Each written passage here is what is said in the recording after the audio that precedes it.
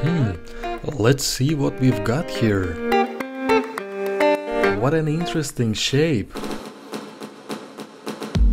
A bulb socket with a thread. And a wire.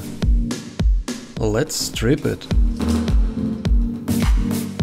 And fix it in the terminals.